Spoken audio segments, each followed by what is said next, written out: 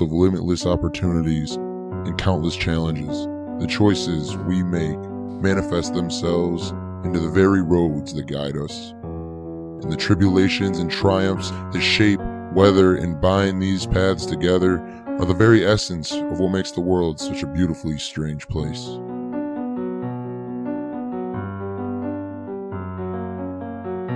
But we walk our path with no map, in search of answers that nobody has, simply hoping that we don't get lost along the way. So maybe just sharing our story of where we come from and the things that have guided us along the way can be enough to guide those lost in their own path. I'm Zach Bonanza, and this is the Lost Guidance Podcast.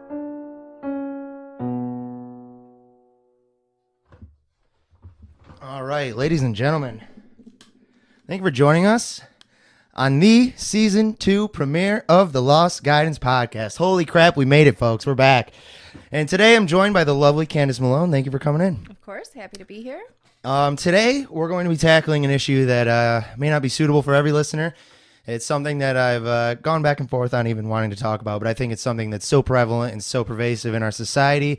It affects each one of us on a personal and global scale, and uh, I just think it needed to be talked about, and that's the uh, the drug epidemic. Mostly focusing on uh, kind of the opioid side of things, and uh, Candace has been brave enough to come on and talk about her experiences, her kind of interdigitation with uh, this plague, and uh, just kind of the things that have affected her. And we're going to be just chatting about things that you can do to recognize signs, to to communicate with family members and loved ones, and things like that. So uh, again, thank you for coming on. It's a beautiful day for uh, not so beautiful topic. We're gonna keep it light and breezy. Light and breezy. That's As what we shoot for. possible. Absolutely. So uh, obviously, you know, it's it's easily determinable. I mean, anybody could tell you, yeah, we know we have uh, a pretty big drug epidemic in the country. Um, just to kind of solidify into people's brains, I went on and I looked at the uh, New York State Opioid Annual Report from 2018 and just kind of got some of the stats because although we know it's like I said pervasive in society, we, sometimes you lose sight of how pervasive it is and, and the scale at which it's making itself prevalent. You know, so um, looking at c- some of their surveys and some of their details that they gave, um, you're looking at you know in 2016 uh, there was over 11,000 emergency visits, which doesn't sound like too many. Um, 6,000 of those being pertaining to heroin overdoses, and the remaining pertaining to opioid overdoses, I should say. Um, it might not sound like a lot, but when you're talking about per capita, that's like 57 out of 100,000, they state. So uh, it's opioid overdoses and just kind of this uh, opioid epidemic that we're seeing staggeringly grow, especially in this area, the Oneida County, the Central New York area. It just it hits home. Um, they go on to show statistics that uh, males are twice as likely to be uh, affected by this, um, and it's really prevalent throughout the 18 to 20 or four year old uh, demographic.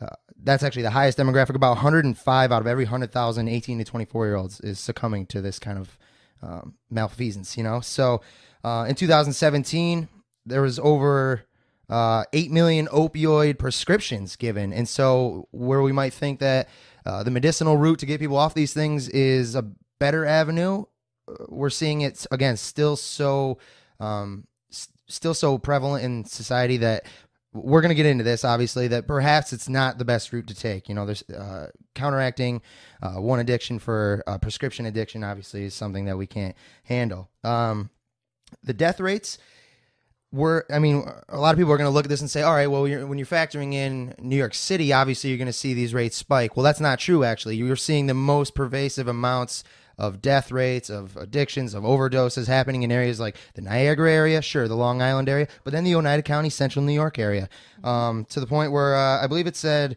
uh, so so per populace, there was 50 deaths in the Oneida County area, like uh, Oneida, Madison, and all that. Um, and I think just in Oneida County, there's, they said there was 231,000 people, give or take, right? And uh, 50 deaths came out of that. So you're talking um, let's see, 25.1 out of every 100,000 people, right? 25 people out of every 100,000. That's pretty staggering. You look at the New York City rates, just talking like the Manhattan, Queens area, 499 deaths for 8 million people. So you're looking at 5.5 out of every 100,000. So in our area, 25 out of 100,000, New York City, 5 out of 100,000. I mean, that's a testament to something being wrong in our society and something being a little bit broken. So what we need to do is bring light to the subject and just talk about it and let people know uh, maybe if they're a little bit in the dark or maybe just kind of playing ignorant to the fact that maybe one of their loved ones is succumbing to this it's good to bring it to their attention bring it out loud and just say these things and let them recognize uh, the situation as it is. So, Candace, you obviously, as we had said before, have a deep seated, deep rooted, um, and unfortunate connection to this epidemic and this plague that's kind of going through the area. So, would you like to share a little bit about that? Yeah, absolutely. So, uh, Go ahead and bring that mic just a little bit closer. Yep. Uh, so my brother Danny Mm-hmm. uh, passed away in March of 2017. He was 29 years old and uh, actually had injected for the first time in 11 months. Wow. So he had been sober for 11 months, and the first injection just happened to be laced with fentanyl. Mm-hmm. And so he passed away after two days on life support. Uh, and he had been battling the addiction for nine years. Yeah. So uh, there was a span in there where he was clean for three years, and you know your hopes get up, and you're right, of course. you know, uh, and he was doing great. And then uh, it just the thing is uh, with this addiction. So uh, just to backdate a little bit and pull it back Yeah, to his roots, uh, Danny was always kind of like the super responsible one. So there's three of us: uh, Jimmy, Danny, and myself. And are you you're the youngest? I'm the youngest, Okay. and uh, Jimmy and I are the crazy ones. You know, like Yeah. if anybody was gonna get in trouble, it was gonna be us. You Know? Right. Danny was like super responsible and just intelligent and like, you know, daddy's boy. yeah. Uh, but what happened to him, unfortunately, was uh, it was prescribed to him. So he got in a four wheeler accident back in 2008, and he was up in Bridgewater and he drove off a cliff and he had shattered his entire shoulder. Wow. So when he originally came out of it and like made it to the hospital, they were thinking that he could be partially paralyzed because it looked that bad. Wow, So over that's time, serious. yeah, he started to come back from it. He had surgery to reconstruct his entire shoulder.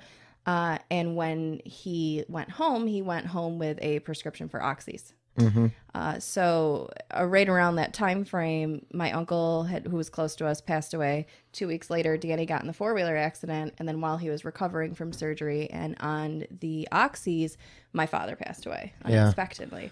So he was going through a lot of emotional trauma Right. at that point, which, uh, in my opinion, the majority of the people that are struggling with addiction, everybody looks at that as their main diagnosis and the thing that needs to be treated. But usually there's a lot of underlying uh, mental or emotional Right. issues that are probably, uh, Compounding it. and that's pri- primarily what needs to be looked at first. But um, Right. so yeah, so he was just in a bad way emotionally, and uh, he they undid his script for oxys uh, a couple months after my dad passed away, and so he just started. Um, you know, with little things like you know, it, w- it was always a pain management thing for him because the issue is is that they're prescribing these opioids that for the moment are making you feel fantastic. Exactly. They dumb they dull your senses, they kind of numb you to the all those issues that you were just talking about. Yeah, and it, and it doesn't only take the edge off of the pain, but like you were just saying, it takes the edge off of the emotional and the mental end of things as well. Yep. Uh, and it just numbs you out. Eh, But the other thing that it does is, uh, as it ups your tolerance for the drug itself, it lowers your body's pain threshold. Right. So because you're now medicating your pain away all the time, where you or I would stub our toe and say, "Oh shit," you know, and, Yeah. and it hurts and it sucks Yeah, for a couple yeah. minutes. Uh, they can't handle pain. Their brain has their brain chemistry has changed, and their tolerance for pain has gone down substantially.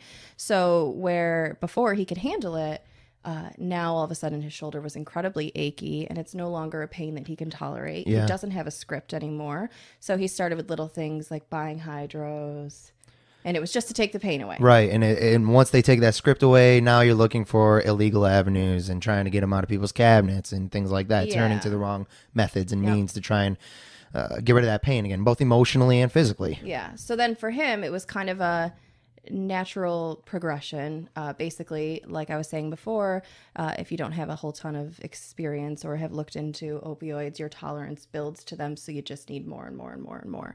So he was, you know, it went from hydros to perks to, you know, oxys. The and next fine, strongest and thing then each time. Opanas, which I don't know much about, but that's basically when he told me he turned to heroin because the Opanas were so insanely expensive that he like couldn't afford the rest of his life, and he made good money. So Right, like right. he was uh, sending himself broke with the Opanas. So I guess a buddy said to him like, "Why don't you try Here's the cheaper street alternative. dope? It feels the same way, if not better, and it's the cost of a dime bag of weed." Right. So uh, Crazy. that's when he started doing heroin, and that was uh, nine and a half years before he passed away. It's crazy, and you know, going back to like you said, the pain tolerance and all that, and you're looking for these different avenues. It's very similar to like college kids. You know, uh, somebody who needs Adderall or Ritalin or something, it'll dull you out. But if you don't need it, your body's already just normally there. Yeah. It's just taking you to the next level, and that's when people start to abuse it. You're really exceeding what your normal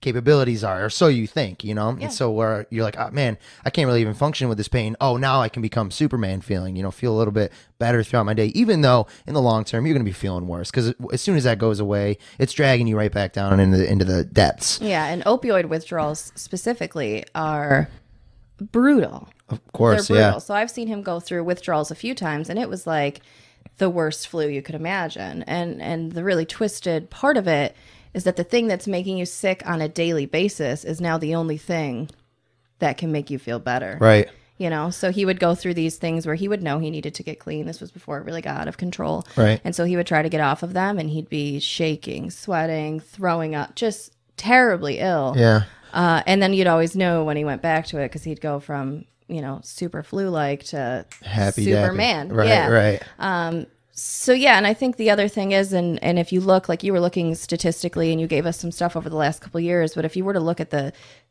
serious spike in the last like absolutely, ten years, absolutely, um, you know, when opioids specifically, uh, you know, if we look back to the 90s, early 2000s, uh, the more affluent communities, unfortunately, really only pay attention to the things that are impacting them. right, And the things that are going on in the poor man's community don't get a lot of attention. So heroin was always considered a poor man's drug. right, So nobody was paying attention. But then, you know, pain management boomed. Big pharma boomed. And they started sending out all of these prescriptions and, you know, people were feeling great and they thought this was going to be the cure to everything, but there wasn't enough long-term research Mm-hmm. for these people to realize what was going to happen to them. And then not only that, I mean, if you think about it, there's a lot of people in the poor man's community that don't even really have access to that health care. So I feel like that's when it kind of permeated the uh, the more affluent communities, and that's when people really started to pay attention to opioids, and the numbers went through the roof. Absolutely, and it's like it starts almost this vicious vicious cycle where you're seeing people thinking that it's an okay alternative, like oh I have pain, but the doctor gave me this, it's Yeah. okay. Um, and that's one of the things that's obviously an issue in society today is the, the prescription regiments and stuff like that, especially like you said, opioids and benzodiazepines and things like that that are supposed to help dull the pain or dull the senses or uh, help you get by for whatever ails you, you know, or whatever you say ails you, honestly, because we know uh, plenty of stories where people are just kind of falsifying their situation in order to get those avenues. But as you're seeing people with uh, inaccessible healthcare, inaccessible means of getting these things, once you give them a taste, it's hard to just say, all right, now go deal with your pain some other way. Go figure it out. They're obviously going to be looking to anybody's alternative. And, you know, and somebody in a desperate situation will turn to anything. Yeah. You know, whether it's if you're hungry, you're going to eat out of the trash. If you're, uh, you know, freezing cold, you'll go under a bridge overpass or you'll go anywhere and try to find warmth. Yeah. And it's the same thing when it comes to pain management and just kind of getting, uh, reholding your life, you know, re- uh, reconstructing a stable mindset for yourself. And if that's the only means that you think you can do it and you can't pay for the expensive ones, obviously you're going to, you know, whatever Tom, Nick, or Joe down the street is selling. You Yeah. know what I mean? And that's kind of what happened. Uh, So, like I had said, he had gotten sober at one point for like three years. Uh, so he kind of hit rock bottom. And the only time he ever really got clean is if it was legally mandated, you know, because like he's not doing it for himself. Right. He'd get in trouble. He'd be he'd go to jail. and Then he'd be on drug court, which was a pain in the ass, but always a blessing. Right. And whenever he got in trouble, everybody else would be like, "Oh no," and I'd be like, "This is hope," you know, like. Right. It sucks, but this is going to be the thing that'll help him at least for a little while. and hopefully So, help him see Yeah. that he can do better, you know? And they're trying to. So I recently, oh well, not recently, uh, after Danny passed away, so a couple years ago, did a four-part segment on WUTR uh, with Observer Dispatch, and it was called "The State of Addiction." There was a town hall at the end, so they're basically looking for a reform in Oneida County. oh, that's tremendous. Yeah, so uh, I'll get Where, more where can that be found again? I'm sorry. Uh, I can send you some links for that. That'd be great. We'll right pull that up for everybody who wants to see Yep. it. Uh, so I did that, and I'll uh, you know speak more to that in a little bit. But Uh, so my point with that was uh, before they had started to look in, because this is all so new. It, it being so mainstream. I mean, drug abuse has always been an issue, but as we said before, it's always the poor man's issue. So Exactly. nobody was paying attention. But when they were sending the scripts to the stay-at-home mom and to the dad, and now their 17-year-olds addicted, and it's Right. and it was Getting them out of the cabinets and stuff like that. and they yeah. trusted the doctor Right. and nobody. It's very rare that you question your doctor when you're feeling like shit and and you just need something to help you Yeah. you look to them you trust them Right. You'll go get the script. Oh, Clinton Maya, whatever, Doc says whatever. You know, you're, Yeah. You're looking at these things. You're like, I don't know what it is, but I assume it's supposed to be for the betterment Yeah. of, of myself. so you trust them without doing your own research which we all need to do our own research this is just do your research it's Yeah. a, it's a little bit Know what you're putting into yourself. a lesson for yourself. You know what I mean? Just do your research for yourself because had people really done uh, looked into it at all, uh, opioids are never going to sound like a good option if you actually know. Which now people are coming around to, and uh, through that town hall, I actually discovered that they are changing the way they're prescribing things. So most people that are on it long term now have to see a doctor, Awesome. depending on their issues, every thirty days or every ninety days. They can't just keep refilling their scripts. They got to keep coming in, checking up. You know what I mean? They're Yeah. trying to to make sure that they're keeping it in check. and kind of mitigate those uh, transitional periods where people go from the legal to the illegal drugs, Yeah. which, uh, you know, legal and illegal, obviously just being terms here because anybody who is abusing uh, an over the counter medication is obviously, uh, you can use it illegally. So, Right. yeah. So then uh, to come to bring it full circle to what we were saying before uh, was that he was prescribed it and and before these systems had changed you know uh, when somebody came into rehab the first thing that they did well, they don't want them to feel the pain of you know withdrawals because it's awful Right. so danny for example went in and they gave him uh, medicine for sleep medicine for pain, which was tramadol. And at that time, they kept telling all of us that tramadol was a non addictive, opioid like because it affected the same sensors, but pain management pill. right. Come to find out shortly after Danny passed away, and I started looking into things, uh, that all the testing on tramadol was done tramadol via injection. So long term, tramadol didn't look like it was going to be as addictive as a normal opioid would be Right. but f- something when they compacted it into a pill and put it out there made it a more addictive substance than what they were really Wow. uh, like expecting it to be. But uh, anyhow, so he was on tramadol for pain, something for sleep, something for anxiety. You know, they're they're trying to make him feel better, but they're just keeping him legally high. Yeah, exactly. So at no point has he really bottomed out. At no point has he actually been sober. right. They're giving him all of these things. And the system, when you come through, you get in trouble, go to jail, drug court, they give you insurance, even if you're not working, like Medicaid to get you through. So they gave him all this wonderful th- things that were making him feel great. He was functioning. And then the insurance cuts off because they're not going to pay for it forever. Right. And so now he's sober. Yesterday he had a script. Yesterday he had four scripts. Right. Today he has none. And it's not like a gradual. It's almost just like they're they're hopscotching him down these stairs, like illegal drug to boom, whatever we give you to boom, get off it. Yeah. And that can't be the way. They didn't taper it for him. I think they tapered the Suboxone, but the other stuff that they didn't. Uh, so all of these things, you know, he was always promised that there wasn't going to be a withdrawal. You know, you're fine. Tramadol, Right. there's no withdrawals. There's no. It's not a non-habit forming. He went through terrible withdrawals. They were almost just as bad as when he was getting off of dope. Um, so he started using again pretty much almost immediately. Yeah. Because he got off drug court, lost the insurance, and then got off probation like a couple weeks later Yeah. and it just kind of for him uh you know it was like stepping down. Like it started with he was going to have a couple drinks with us. Right. and we were excited you know like he's off drug court. We'll have a couple drinks. That was never his drug of choice. So we were Yeah. like it'll be fine. But then it's drink with you know a couple beers. Now it's jaeger Yep. now and I, I remember Danny coming off at this point, and Yeah. Mm-hmm. you know you're so happy for his progress, and he was so happy with himself, and just worked, you know, tinkering on his Confident motorcycle and, and and- just doing things that he loved to do, and yeah, confident again. And then uh, again, you do see this kind of uh, gradual decline again. Toward you, you start seeing these shadows of his former self almost. Yeah. And so again, you uh, as a sister, as a loved one, as a friend, uh, you hope that they're not going to fall back into that cycle. When did you realize it was kind of transitioning back into it? so uh, Danny lived with me. Mm-hmm. Uh, so I actually, when I had my daughter, she's uh, eight now. I'm gonna be eight soon. Uh, I was a single mom. I lived alone, and he was living in a homeless shelter. Nobody would take him in after he got in trouble Mm-hmm. because it just was nobody nobody wanted the responsibility Right. you know, because it had gotten bad. He was stealing things and Right. just wasn't himself. Uh, but I wasn't having that. so Yeah. I called him up. I said, listen, it, you could live in a homeless shelter and that's okay. Or you can come and stay with me and you're going to help with the baby. Yeah. So it's kind of like, Yeah. you know, so him and my daughter are insanely close. We used to junk, uh, like joke around that she he was like Uncle Dada. Obviously not a good joke. It's kind of gross. But, but so yeah, I took him. I he was in rehab like 40 hours a week. So I would drive him to rehab in the morning, pick him up in the afternoon. He would watch the baby while I had to do things. So I kept a really close eye on him, and we were really close. And give him structure. Yeah, yeah, hundred percent. And then he had his own son. His son's a year younger than my daughter, uh, and that was when he like really was at his best. You know, Yeah. super super happy. Um, but yeah, so as I was saying, when he got off of probation, it was like a beer, Jaeger, a joint, a hydro because he doesn't feel good, and it just kind of. Yeah. So I knew I'm a no bullshit person. Mm-hmm. Uh, I knew. I knew pretty much right away. Danny had these like crazy blue eyes, and when you do opioids, your you know your pupils are like pinpoint. Pinholes. Yep. And his uh, gorgeous eyes, but they would look like an ocean with nothing in them. Yeah. And that's when I always knew. And you know, he would be Danny wasn't the nicest person when he was sober, so he would come in and be like, "What's up?" and like want to hang out, and I'm like, "Mm-hmm." Yeah. Uh, so I was kind of hoping it was just gonna like it wasn't gonna get out of control. I knew it was starting, and I tried to talk to him about it, but he was super defensive, uh, and I was just kind of hoping that it wouldn't get out of control again because Yeah. he had, uh, for lack of a better term, he had life by the balls at this point. Right. Was- Yeah. had a son that he loved, had a girlfriend that he loved.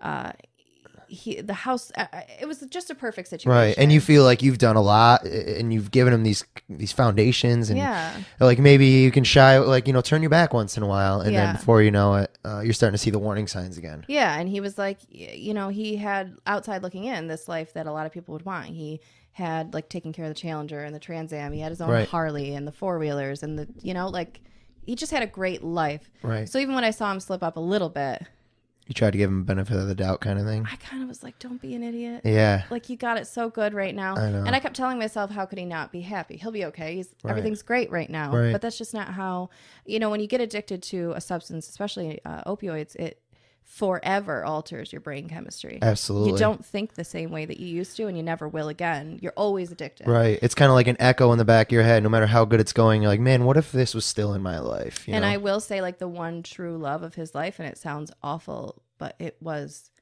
heroin. Like Yeah. him and I would sit and talk even when he was sober, and the way uh, a lovesick puppy would talk about his girlfriend was the way Danny talked about heroin. Yeah. And just in this like, and he wasn't a super like vulnerable, open guy, but when he talked, you could just tell that he loved it. like he was absorbing that time in, in his life a little bit differently than other, Yeah, because I think it was the first time in a long time he just felt okay. like a release. Yeah, because when he first started doing it, it really made him into like Superman. Right. Like he would shoot up and he would come upstairs and he would start cleaning the house and he's hanging out and he's outgoing. Uh, and then eventually you do more and more and more and Right. he'd be nodding off. He would burn himself with cigarettes all the time. Yep. He almost hit a school bus. He was driving one morning and he nodded out uh, and drove in front of a school bus, almost hit him and totaled his truck completely. Wow. He went to jail for that. Just like eh, with that, those drugs specifically, it just goes from like, Yeah. you know, like it's you're sailing, you're good. You know, everybody thinks they're having a good time, and it drops. And, you you, could- never know if you're going to be the person because it's all based off of your brain chemistry. Exactly, and and it tricks you into thinking you're okay even when you're not, and so that's Yeah. that's why it's so hard to get through to people like that. And people can share these similarities with uh, you know like alcoholics and stuff. And I've had alcoholics in my family, and Yeah, I've had uh, family members and stuff plagued by um, different addictions and various things like that. And you start seeing them. It's like to begin with, you're seeing them act one way. You know, somebody who starts drinking initially, maybe they're Mister out there, fun loving, Yeah. happy go lucky. Suddenly uh they're doing a little more often they're getting a little more aggressive they're it's it's more of a crutch in their life and so they're using it not as like a release like a party thing but as like a a, a, a stable something they need to be stable you know and and kind of solidify their life and even get them through the day and so uh, it's just kind of crazy to see this transition in somebody, especially someone you love. You and know, it happens quickly. Uh, very It's quickly. a very slippery slope, especially if they've been there before. Um, so yeah, it basically got to the point where he was taking his son and was even like nodding out when he had him. He lived with me, so like I always had the baby. He was fine, but I had to reach out. That was like when I knew it was bad. I Mm-hmm. Had to reach out to my nephew's mother, my brother, and I did my other brother, and was like, just so you know, he's definitely using heroin again. And like I don't want to say that. It's a big fight between him and I. He won't admit it right? So then I kind of I told her, and then I kind of went on this like crazy bender to get him in trouble because I knew that was the only thing that was going to make him better. Uh, so the the thing that's hard with loving somebody or caring about somebody that's addicted to something is that it's insanely difficult to get them help unless either it's legally mandated or they're willing to do it. Right.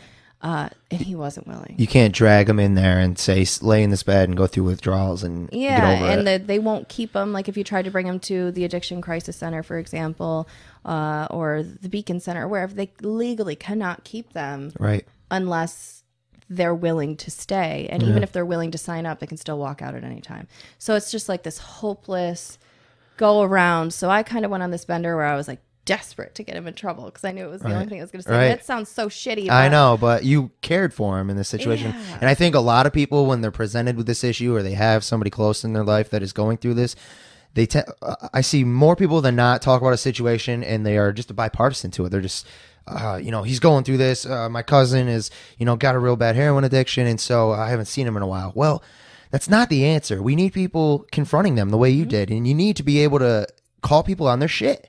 Yeah. And if not, they will always go through thinking it's okay, or they'll just barely get by, or they're going to hurt themselves or others, you know, similar Yeah. to this situation. And you love them, you care for them so much. You have to be able to identify these warning signs and do what's best for them, whether or not they think it is, because honestly, they're not thinking straight. Yeah. They don't. Ha- they have the chemical imbalance in their head that's telling them it's okay, and it's not okay. And they need the thing that's killing them. exactly. So it's not even them thinking like, "Oh, screw you, I'm going to do what I want." They n- need it, Yeah. or they're going to feel like their world is coming undone and Yeah. like they're sick. Uh, so yeah, actually, t- and to your point, and I, you know, I've become a big advocate for all of this. I talk to people on a regular basis. After I did the news uh, segments, I had people reach out to me that I don't know, telling me that they're an addict, that their mother was an addict, that their child's an addict, just like telling me their whole life stories. And Yeah. even people reaching out to me asking for advice on how to talk to children because the other issue with Danny is that not only did he have his own son, I have children, Jimmy has a son. Right. So, you know, we had to maneuver delivering a difficult message to four very small children that Yeah. really weren't ready to hear it. Um, so yeah, but my point that I was trying to make is that what you were saying, you know, your cousin has a bad addiction and you kind of back off. yeah. Nothing I can do about it. They don't want to help Yep. themselves. Exactly. And I always tell people don't overextend yourself to the point where your own quality of life is now uh, not as good, you know, is lower. Don't do that. But when my brother passed away, he was uh, surrounded by people in a room, 10, you know, probably 10 people who were his best friends growing up that kind of all had, for their own self care, I'm not saying anything bad, but had kind of all backed off. Right. And then they have this moment, like this wave of regret, like, What if I had done something? I should have done more. I should have been there for him because Danny's biggest issue, and I think this is actually how I became uh, more public about things. I was always uh, never afraid to confront Danny face to face, but we never made his addiction super public. The people, a lot of people knew, Mm-hmm. but I wasn't like going out there and speaking to it on social media and like trying to gain a following or anything like that. Right. So uh, when he passed away, like 24 hours before he passed away, I just kind of made an executive decision that like you might come out of this and you might be mad at me and you might be embarrassed, but like this is step one. I'm I'm going to talk about it. Bringing now. attention to it. yeah. Yeah. So my first status was when he was sick, and I just basically. The thing is, is again, like we were saying, if it's if things aren't happening prevalently in the affluent communities, nobody cares. Right. White noise, you know. Right. Uh, so my first status was basically saying that heroin doesn't discriminate and it doesn't care if you're black, white, rich, poor, young, old. Like none of us are immune to this. Right. So like we need to start paying attention because it. Nobody ever just like wakes up when they're 17 and is like, I want to try to stick a needle in my arm today. Right. It Yeah. doesn't start like that. It Yeah. starts with us going out to a party, having a good time and trying something. And you just happen to be that one person that your brain chemistry isn't right? And it sticks with you so hard. Yeah. And it's sad to see that we have a society that's so taboo against these things, where you see somebody who's sick with cancer, and it's post all about it. Oh, we need to fight cancer. Yeah. But heroin, it's like I don't really want to post about like a you know just for lack of a better example, my cousin, my brother, whatever, being a heroin addict because it looks bad on me. Well, no, it doesn't because it's an issue. And you know, I wanted to say uh, I was looking up some information on the John Hopkins University. And they don't look at it as an addiction. They don't call it that. John Hopkins themselves call it an opioid use disorder. It's something innate in you that is now broken and it needs to be healed. And without the support of loved ones, without uh, avenues to look to, if you feel like everybody's just shutting you out or you're just, um, you know, you know, like you have to be this, uh, what am I saying? Like, like a, like an outcast to your whole family, to your whole life. If you feel like you're just somebody who, ah, I'm not going to contact them or because they're not going to help me, they're not going to think of me the same way. I don't want them to look at me like this. Then nobody's ever going to get help. And so that, I think, uh, like you said, the first aspect, the first start that people need to make is bring light to it, bring attention to the fact that this is going on, and don't treat it taboo. Treat Yeah. it like something that's seriously uh, broken inside them and that you want to help repair. Yeah, hundred percent. So then that's kind of where I went next was, you know, after he passed away, I was quiet for a little while.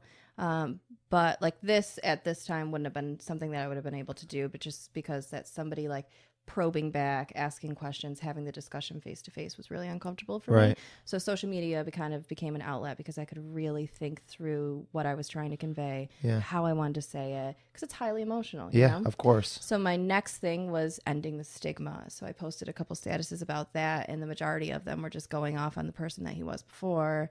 Great kid, you know, Yeah. great student. Um, so that's what WUTR actually caught on to first. They saw that uh, status about you know ending the stigma, and they reached out and asked if they could use that. And I was like, yeah, sure, you know. And they were like, well, why don't you tell us a little bit about yourself? And I gave some more background, and they were like, oh, would you mind if we came to your home and like interviewed you for the news? And I was like, yeah. I was a little apprehensive, Right. but like kind of the moment that he passed away, I just made a decision that, uh, you know, I've seen so many people and known so many people that have lost uh, their lives to this or have struggled with this, and nobody ever wants to talk about it because it's an uncomfortable situation. Right. So in his eulogy, I made sure that I put in there that it was. So I wrote and delivered his eulogy. There was a lot of stuff about addiction in it. Uh, in his obituary, I wrote that as well for the, and I made sure that they said, you know, people say like passed away unexpectedly and they don't give a lot of information Right. you guys need to hear it. it it's not embarrassing, and, and it doesn't make you less of a person. We need to. Uh, people that are on uh, that are suffering from substance abuse are oftentimes dehumanized, Yeah.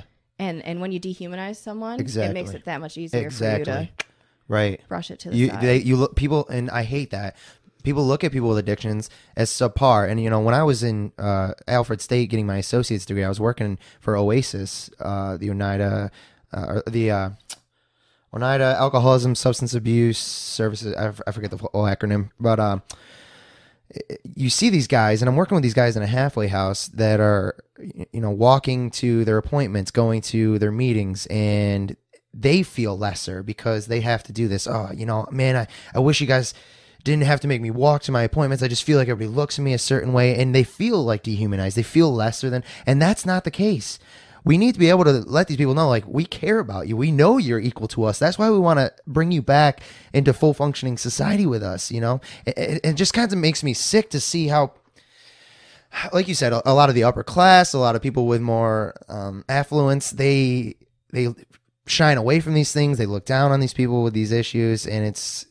I I think that's one of the leading causes of people hiding it. Why people are so good at you know concealing some of these warning signs. Why it progresses so quickly, and uh, it's a very much a compounding issue that if again circling back to the same idea, if we're if we're not bringing light to it, it's going to stay in the dark, and that's how we lose people that we yeah, love. hundred percent. You know. and that's why it got out of control so quickly. Yeah. It just in the last like ten years, it just skyrocketed because for the longest time, it just wasn't anything that anybody wanted to talk about because it, they feel shame brought onto their families, or or they don't want to embarrass the person. And it's it's not embarrassing. It's Absolutely. a disease, like you said, it's a disorder, and it needs to be talked about because it could literally hit any of us. Me and Jimmy and Danny were raised in the same household, went through the same stuff. Right. You know, and I'm not saying that it was easy, but we all turned out completely, totally differently. Yeah. And I when I was young, partied just as hard as he did. Yeah. It could have been me. Right. They very easily could have been. It, can happen to anyone. should have been me because I was the bad one. but my brain chemistry was different than his. Yeah. And that's really what it comes down to. And that's why you'll see, you know, I knew somebody recently who lost. Uh, they were, uh, I forget which school they went to. It was my cousin's friends, but they were in school to be doctors, this group of friends, and three of them overdosed within a week of each other. And Wow. they had come from like good families. They're going to school to, to get a medical degree. They're going to be successful, and it's even affecting them. Right. So yeah, ending the stigma for me is the biggest thing, and I think it's what kind of held Danny back too. He was just he felt a lot of shame. Yeah, I think uh, something too that we should mention is that uh, we're not discussing this in the light of like Danny, you know, was was plagued by this total illness. We're we're trying to say that he was such a good guy that it breaks our hearts to have to see that this happened to him. Yeah. you know, and we're celebrating the fact that his life was as good as it was, and he had such an impact on us that we want to be able to talk and prevent this from happening to other people. And I think that's what people need to do. If you're in a situation where you're kind of worried about these kinds of things, you need to be able to open up to loved ones, to friends, to family, and say, "Man, uh, this is the guy I once knew, or the girl that I once knew, and this is." I, I just see that they're not the same, and what can I do about it? Where can I go? Yeah. You know, and, and it starts with having an open discussion and recognizing it and just saying it out loud. One of the things they teach you in like psych classes and things, it's like when people verbalize things, it brings you're hearing what you're saying, and sometimes that really brings it to light for you. Yeah, you're like 100%. when you start when you're like ah, you know, he's been sketchy, he's been alluding to me. I think he stole some money from me. You got to say out loud: Is he on heroin? Is he on a drug? Is he on pills? What's going on? There's It's some facing an uncomfortable situation. Exactly. On. You can't ignore it just because it's uncomfortable. I agree with that. and people need to be able to take that step and i think that's a big one um, there's a lot of good things that we're bringing into this conversation that if people were uncertain about um, you can always reach out to either candace or i and we can talk about this openly but that's what needs to happen we need to make this a prevalent part of our society an open communication uh, and things that you can't just again going back to saying like you can't just step to the side and hope they get better somebody in this mindset will never just go get themselves help to. they They need help us they Yeah. need the people that love them to help And there's also support groups for, so I think it's Tuesday nights. I haven't been in a while because it just isn't something that I personally need anymore. But there is support groups, I think, at the Insight House on Tuesday nights for family members and loved ones of people who are addicted to drugs. And the addict themselves it doesn't need to be a part of the Insight House. They they don't need to be there with you. It's just a support group that you can go to to become informed and to to find your little tribe Right. to help you get through it. Uh, and that was a major thing for me that I just thought was incredible that I didn't realize until after he passed away.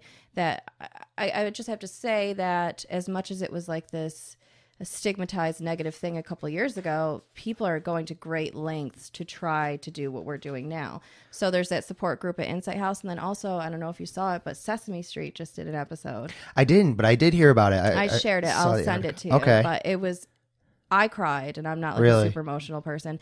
And the little girl uh, came on, and her mother was uh, battling substance abuse, and it just told her story about how she has to go to meetings, how her mom has to go to meetings, how things have changed in her home, and like just the way they set up the episode was incredible. Wow. They nailed it. But like more importantly, they just did it. right. You don't have to do it perfect. You just have to be willing to do it. Have the discussion because it's affecting so many more people than you realize. And that's a testament to where we're going in society, I hope. And I think it's on the upswing. When you're seeing a show that's normally on public cable, you know, Yeah, PBS or some a kids show, Yeah. It's it's you need to reach them at a young age because a lot of kids going out into the world who maybe are uh, sheltered at home or live in a small community, tight knit community, they start going out experiencing the real world at college or whatever, um, or have injuries or whatever it may be that kind of transitions them into a situation where they try these things. If they don't know how to handle it or what they're even doing, it's it's going to hit them all the more Mm-hmm. quickly, and they, they'll succumb to it without even realizing it. Yeah, I have small children, and my son not so much because he's five. But my daughter's going to be eight in December, and if you ask her, you know, what substance abuse is, what addiction is, what drugs are, you Yeah. know, and she even knows down to heroin. And I really struggled with that because Right. uh, I grew up in a family with a lot of death, not from drugs or anything, but just you know one of those families. So I saw a lot at a really young age, and sometimes I wondered if that had a negative impact on me. But I think it was more the way it was handled Right. by the adults. It was like half trying to shelter you, half go look at that dead body, but we're not going to talk about it, you know? Uh, so I didn't bring them to the funeral or anything. I actually waited like a week to tell all the kids. But when I did, I really was like, what do I want to tell them? And then I thought about it and I was like, you know, it seems far away. But in 10 years, somebody's going to be like, you want to smoke a joint? Yeah, right, you right, want to have a beer? You want to try this? You want to try that? Uh, so I felt like it was so important to be honest with them about what really happened because even my daughter had noticed, you know, she kept asking me why is Uncle Danny so sick? Is he going to die? Is Uncle Danny going to heaven? Because it he just looked so ill, Right. and so I just And that's kind how they're conceptualizing it at that age. yeah. So I kind of made an executive decision for all the kids. Yeah. I'm like, you're gonna know what it is, Yeah. Because when somebody goes to pass you a joint, which doesn't sound like a big deal, uh, Mm-hmm. you know, it, just know that if it's more than that, just I want you to understand that there's a big, heavy responsibility that comes with that, Right. and you're not going to know ahead of time if you're the person whose brain chemistry is going to be altered enough that they get addicted from the first try of something. I'm not saying weed, but I'm Right, saying right. pills or, you know. So yeah, I told them. So uh, I mean, it's been embarrassing a couple times when my daughter's going to Notre Dame at this point and walks in and she's like, "My uncle's the heroin addict." She's five. I'm like, "Oh God." Oh boy. so I'm like, I'll, I'll email. like you I. I, I could explain. wait, wait, wait. yeah. But like, I think it's so important now because they've uh, handled it so well and come through this like incredibly difficult situation with just like Yeah. uh, this maturity that I haven't seen from little kids. So. And I think uh, we're moving past what I consider kind of an antiquated style of handling this thing, wh- where every one of us had the DARE program in fifth grade or something. And that's like maybe your first experience, but it's so cartoonish. You got a friggin' lion with a t shirt on. You're trying to explain cartoonized little drug pills, you know, and you're like, all right, you almost consider it like a joke at that age. But to bring it to the reality of the situation. Yeah. And obviously, you'll have to determine as a parent at what age and what time you want to explain these things to your kids. But you got to bring the, the reality of it to them. And you got to say, you know, it's not just a drug you should say no to. Just say no. No. I mean, you got to be like, tell you why. heroin, you're going to inject it into your veins, then it's going to overcome you. You're going to think you're great. It's going to ma- then make you sick. You're going to want it and want it and want it until it kills you, you know? Or, or something something will lead to those situations. And mm-hmm. so uh, I, I think we're finally starting to, like you said, even just seeing on Sesame Street where young kids are watching it, it, we're bringing it to their attention in a more serious way. We realize that we can't just cartoonize and kind of fantasize this thing. Yeah. It's becoming a more serious situation, and that's important. And I think it's also important to again be able to recognize the warning signs and then make yourself open and available so like when you were going through this stuff uh, what were some of the warning signs that you saw and then what were the what were the transitions you had to make because obviously you had to move to being just a sister to a sister who cares and wants to help with this situation was that difficult for you what were the things that you had to do you know Uh, yeah, so uh, we come unfortunately from uh, a line of substance abuse. Uh, so I was, uh, you know, like my mom loved my brother, whatever, but like I wasn't just his sister. I was a lot more than that, and I was the one that was really pushing to try to like make shit happen, you know. right Uh, so yeah, it was difficult. I actually like started having really bad panic attacks uh, because I couldn't sleep at night. I would, uh, you know, if you have kids, people who have kids, you go in to make sure your baby's breathing at night. I would go in to make sure he was breathing too, you know, Wow. because it was that serious. And he overdosed four times before he passed away. Wow. So we had been down this road before.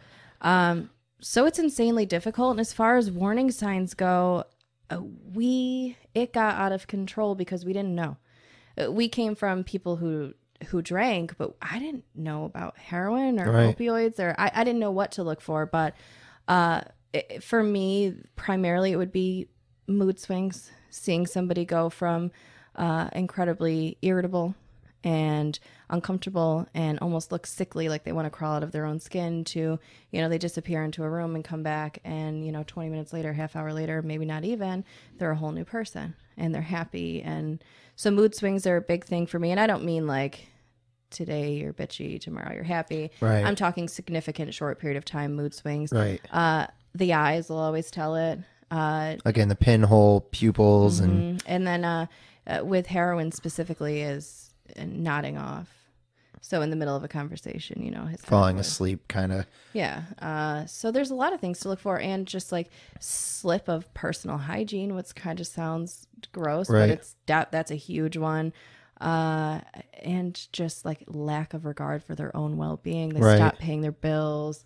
Uh, it, it's just so many signs, Right. But I would say primarily those are the ones that are like big deal. and uh, of course, obviously, you see them try to cut friends and family off, people that they feel might uh, chastise them for Mm-hmm. it. They're going to try and stay away from. So, uh, obviously, if you're seeing anybody kind of demonstrate these things, you might want to again bring that conversation up. Talk to somebody else that really cares Mm-hmm. about them. If it's your brother, talk to your mother about it, or your father. If it's uh, you know a cousin, talk to their parents, or, or whatever it may be. If you feel like you and humans have a good intuition. We're able to know when we're in danger, when uh, we should do certain things.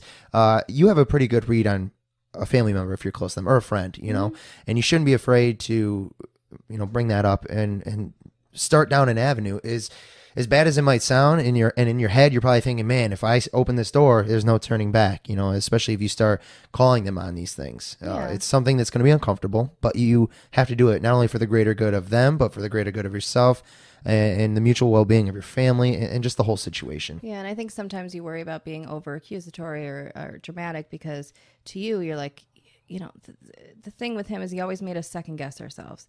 Like I would know, I would know, and then I would have one conversation with him, and I'd be like, I'm an asshole. I was wrong. Like you know. Right. So uh, the other thing that you have, you can't be afraid to.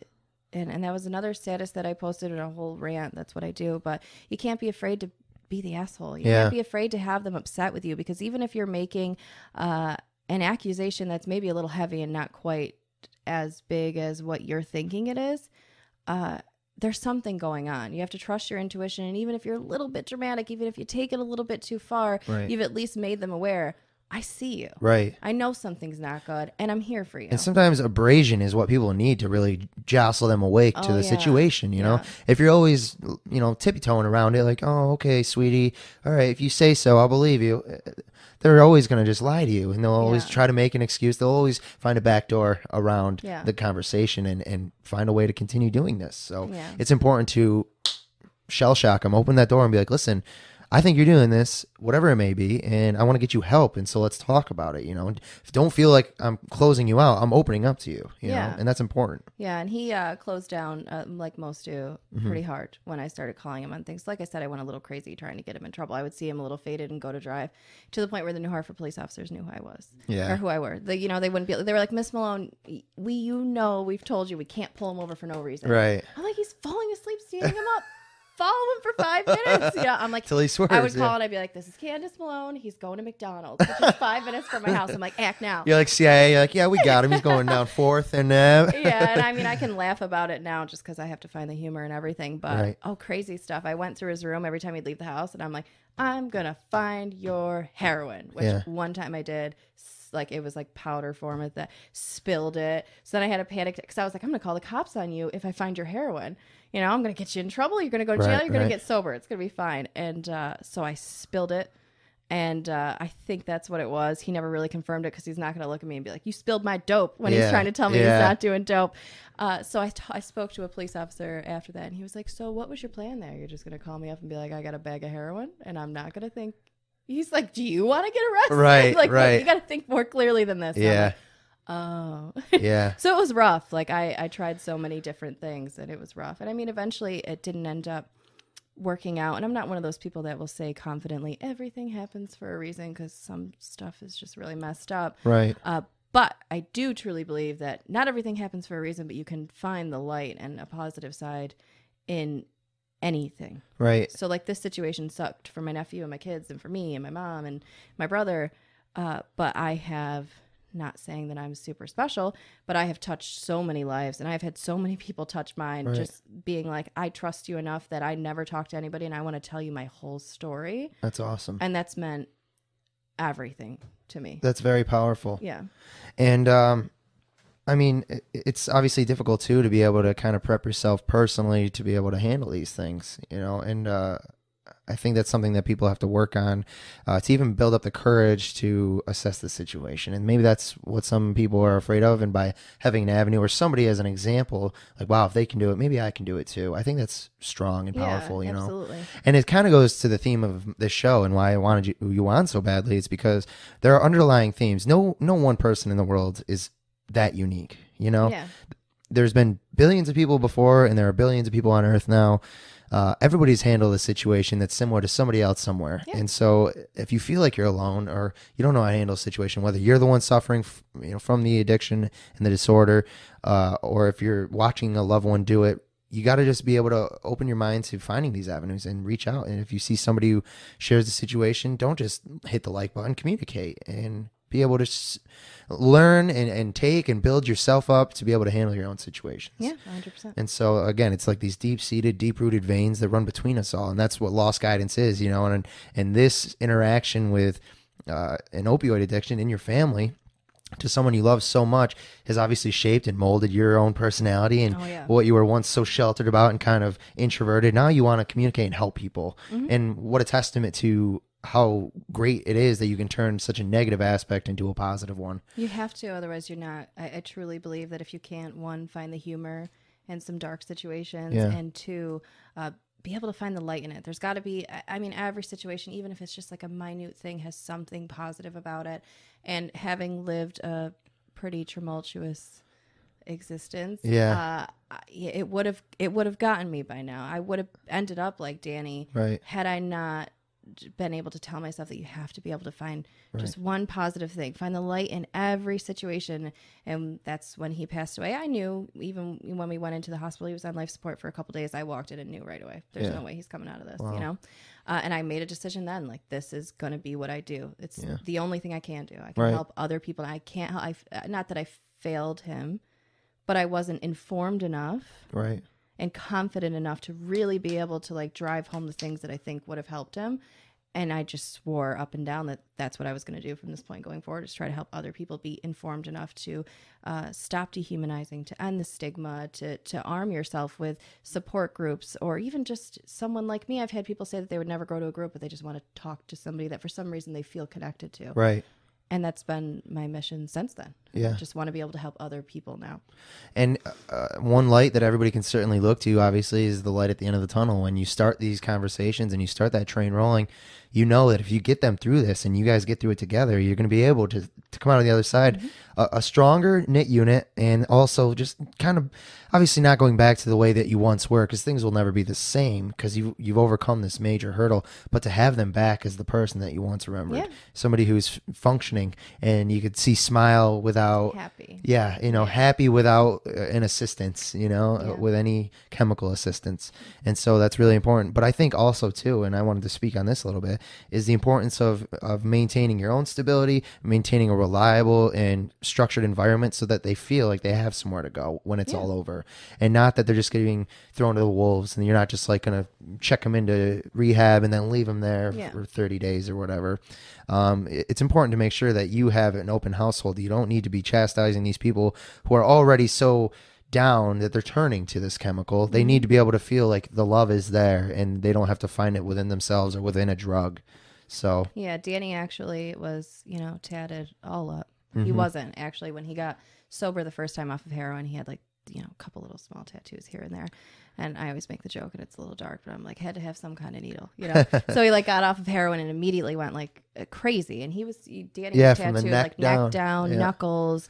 Uh, but the one thing that he had that you know him and I had a little bit of a fight about. Obviously, again, I was a little bit motherly towards him, uh, but he would give me his ideas ahead of time as what he's going to get. And I was like, no, absolutely not. So we would fight about it. But he got um criminal tattooed huge across his stomach, and I was like, you're an idiot. Like, just why, you know? And then he Right. he looked at me, and at this point, he'd been sober for a couple of years, and he said, you know, no matter how far I come, no matter how good I'm doing, no matter how long I've been clean or stayed out of trouble, everybody always looks at me as the criminal. They're just waiting for me to mess up again. right. So it was like a big deal to to him. It was a way of, uh, you know, taking back the power. Right. You know, so he had that tattooed on This him. is how you see me, and this is what I'll give you, kind of thing. yeah, yeah. Right. He was like, "That's fine. You can see me that way, but that's not who I am anymore." So to him, it was like taking back the Right. power of the word criminal. And he also had relapse tattooed on him. And he was like, "I'm never going to." At this point, he didn't think he was going to, but he's like, "But that's what everybody's waiting for, and that's how they see me." He's like, "So why don't I put on a good show? Right. You guys think what you want. I'm gonna own my own sobriety, own my own success, Yeah. and my own happiness." And that was when he was at his best. But yeah, Anybody who knows Danny too knows that he was comfortable in his own skin, and and you know he would he would have no problem telling you what's what or how he felt about something, and that was one of the things that I always admired about him so much. And, Yeah. you know, on top of many other aspects. Yeah. But uh, I, I like the way you worded that, just taking power in those words again, Mm-hmm. in the, the the labels that we give them, and, and it goes back to this taboo and the stigmatizing society Yeah. that we have. It's like uh, you can't look at somebody and say, "All right, you come through it." And we want you to come through this whole thing, right? We want you to get off of it, but then after it's done, we're just going to look at you with this tinged eye of saying, Yeah. "All right, but how long are you going to do this for? How long are you good?" No, you got to say, "All right, welcome back," and let's keep it moving. You Yeah, and it's not even just family; it's community wise as well. Which, like I said, I could have talked to my family and you know talked their ears off about it, but that's why I wanted to get like, sort of a community outreach for it. Was because to him it wasn't even just family; it was going to Riley's Dairy to grab a soda, and Right. seeing the way people look at him because they knew. in small town USA, everybody knows. I know it makes the OD, and suddenly, Yeah, and nobody ever thinks that it's going to be their kid. right? And that was uh, like my biggest thing. I was like, it can be. Yeah, And it will be, maybe not your kid, but somebody you love if you just don't start, like you said, knowing what the warning signs are and just knowing that you're not immune to this. yeah, Nobody is. Right. Especially when it's being dealt out by your local MD. hmm Nobody's immune to it. So you just have to be, uh, to somewhat, uh, to some extent, prepared. Not overly prepared. Don't stress yourself out, but just know what it is. Know that it's a possibility. Know Yeah. that you're not immune, and uh, come down off that high horse a little bit. Right. We're all human. And I think in this kind of middle class suburb area, especially in the central New York, Oneida County areas like that, a little more rural, a little more uh, suburban, but uh, you're seeing, again, going back to the families that kind of shelter their kids. And, you know, there's always been, you go to school and you see these uh, two kind of uh, totally differentiating, differentiating parties. You have the lower class kind of families and the higher class mm-hmm. kind of families and those families that always shelter their kids and when they went out drinking it's punishment for a week mm-hmm. groundings for a month taking away the car rights and all that. Meanwhile those families are all looking down on these families because they assume those are going to be the problem children and stuff like that. But you oftentimes see these kids who again haven't been given the experience or the knowledge or the expertise or the the proper tools to handle these situations again going off to college they jump right into a situation. They go to a party. Hey, dude, take one of these. What? It'll make you feel great.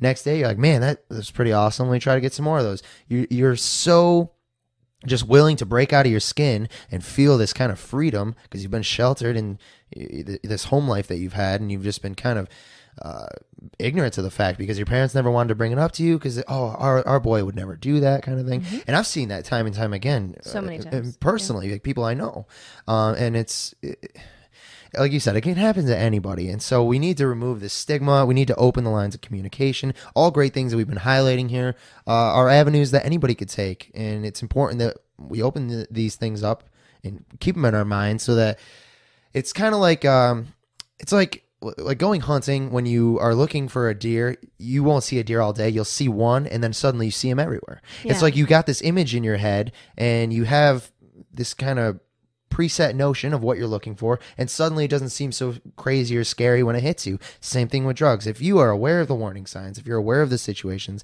some of the things to look for when it finally hits you you're like oh this is what i'm looking for rather than like you said maybe you were caught off guard after the fact and you didn't have the confidence or the wherewithal to know what you were dealing with. Now you do. You, you armed yourself with those tools to say if this happens again or if somebody's in this situation here's what i know personally i've dealt with and, and how we can help Yeah. and how to get them the help that they need Yeah, and the other thing I like to remind people of is you'll have a lot of people that say that's a choice. You know, addiction's a choice. Drug use is it is in the beginning.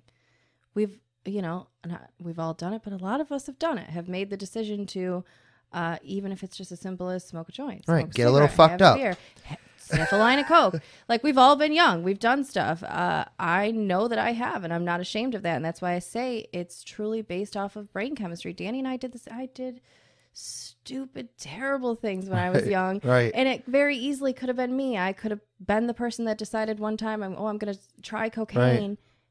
And the difference is, is where, uh, you know, I felt, you know, Superman for a night, felt like shit the next day, and then it was over for me. You Right. know, uh, it made him feel alive. Right. It made him feel like he was taking his first breath after being underwater for an extended period of just time an unrivaled it was feeling different to him because his brain chemistry and his mental health were different and so i like to remind these especially the older folks uh, you know middle age you know older than that who will say oh you know you know, they get up in arms about it, and that was Right. a choice, and it's this. And I really have looked at so many of them and been like, have you never done a line of coke? Have you never smoked a joint? Have you never gotten way too drunk and made a stupid decision? Right. Most people can say, Mm-hmm. Yeah, maybe they don't want to admit it. I mean, think yeah, back to the '60s, Yeah, Patricia. Thank you. okay. Uh, and, and most of them will, you know, they won't answer, but you can see them in their heads going through it. And I say, okay, well, that's all he did. right.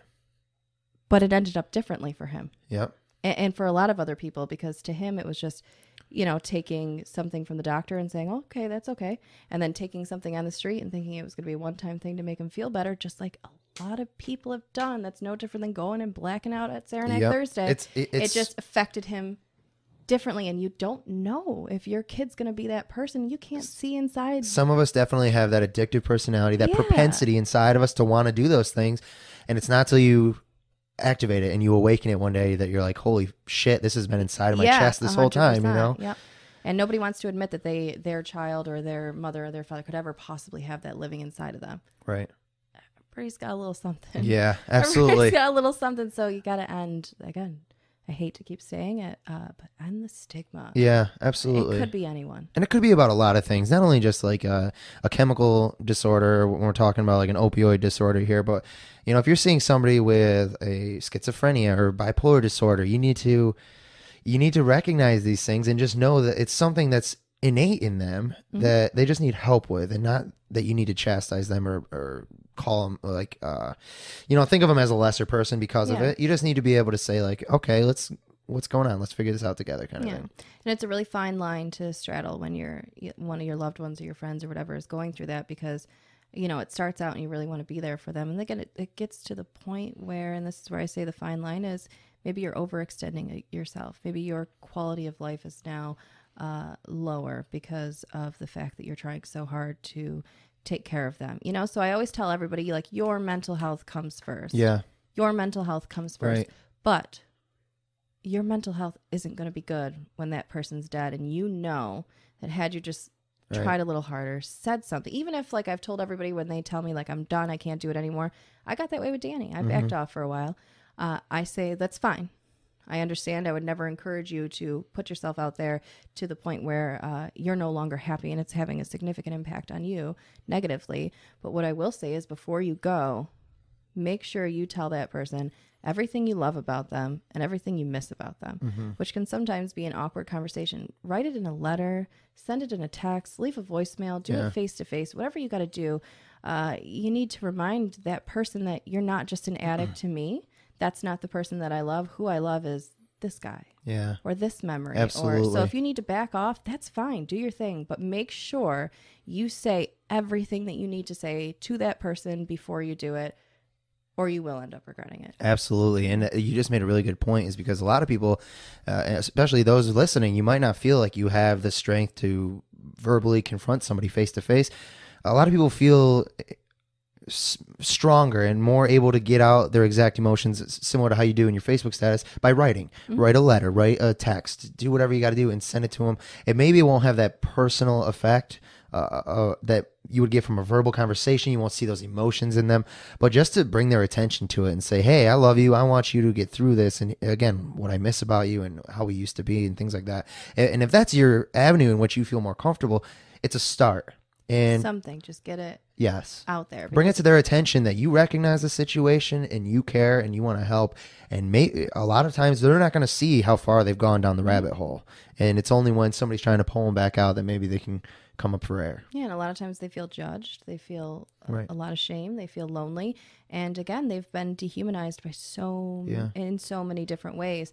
Just to look at somebody, and there's actually a song called "Somebody Someone," uh, and it's about homelessness and drug addiction, and it's just reminding that person that like you're not who you are right now. right You're somebody's mother, brother, son, father, Yeah. friend, whatever you are, you're something to somebody. And I just think it's so important to, even if you're going to back off, do it, you know, protect your mental health, but just make sure you get out there to try to humanize them again, to, rem- to remind them, I'm not angry at you all the time. right I'm angry at you. i mean at your actions but not and and I. I'm fed up with it. And, and uh, personally, I, I cannot continue to battle this with you because I'm, I'm not getting anywhere, and it's it's making my mental health uh, deteriorate. But you just have to remind that person before you go, Yeah. this is what I loved about you. This is what I miss about you. And the second you're able to become that person again, or the first step you take towards becoming that person again, I got you and I'll be there for you.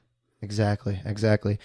So, um, as we start, you know, heading toward wrapping up, and we've hit at a lot of great points. Um, again, we're obviously here to celebrate uh, the life of somebody that you loved and lost, and not to chastise or bring a negative affect to it, but to just bring it to light that this this needs to be fixed. This is an issue that's been ongoing and getting ever more prevalent in our society. And without these kinds of conversations, and without being just black and white about it, then we're never going to get anywhere with it. Again, like like we said, we're seeing a spike. uh, I believe from 2010 to 16, they said it was a, a three times spike in the amount of opioid overdoses we're Yep. seeing in the United States per capita. That's tremendous, especially in the central New York areas. Again, the Niagara areas, Long Island, uh, spread out in kind of the bigger cities of New York State itself, where you know we're from. Um, it's it's more prevalent. So that's a byproduct of us ignoring it for too long. It was similar to the crack epidemic in the 90s until we really started talking about it and getting these people help. Nothing was happening. It was just getting worse and worse. And so it's going to take people standing up, confronting their loved ones, and, and giving them the tools, the comfort, the safety, and environment that they need to get stronger and help themselves. You know. Um, I think it'd be good though. Do you have any fun stories or funny stories you want to share about Danny and end it on a bit of a lighthearted note? Danny, Danny, Danny. Uh, so many stories uh, with Danny. But uh, so, you know, I, I always find the dark humor in everything. So sometimes I'm like, is it a light story? I'm not sure. But uh, yeah, so, I mean, funny stories with Danny, there's a million. He was just this person that, like you were saying earlier, is never afraid ever to say whatever's coming out. Like if he thought Yeah. you were dressed like an idiot, he'd tell you you were dressed "You're like an a fucking idiot. idiot. Yeah, like if it, like me as a sister, if I put on a little weight, he'd be like, and it was like uh with the best of uh intentions, you know, but he just like really didn't care. So I can't say I have any uh specific story about Danny, but I've just got to say if you knew him, you were lucky He was a great guy. he like lit up a room and he was just you know a dumbass and he was funny And he could tell you everything you need to know about cars, motorcycles. Oh, yeah, he was a motorhead. He loved working on four wheelers and Harleys, and uh, we grew up with uh, classic cars. And uh, he just he took a lot of pride in things. Uh, he was incredibly anal. If it was something that he liked and something that uh, was his, he took a lot of pride in it. So it always had to be spotless, and it always had to be the best of the best of the best. Uh, he just was a hard worker. He was funny. He would have done literally anything for any. I mean, he literally helped me raise my daughter yeah, you know he was just a great he was a great person yeah, that's awesome, and it it speaks to the importance of why we needed to talk about this, and why if you're out there having a similar situation or a loved one that's kind of uh, succumbing to this, then you need to begin these steps. Or if you've already lost somebody, um, do as Candace has done and advocate and open yourself up to others and be able to share those stories and help people prevent this from happening to their lives. You know, and uh, obviously Danny will be greatly missed, carried on throughout uh, our years. And uh, I just hope that going forward in this area and in society and in our, in our country, especially, that we could start to work toward removing the stigma, removing the taboo, and opening these lines of communication. So, again, I want to thank you for coming on. of course This has been an awesome conversation. If anybody has any questions or comments, please reach out.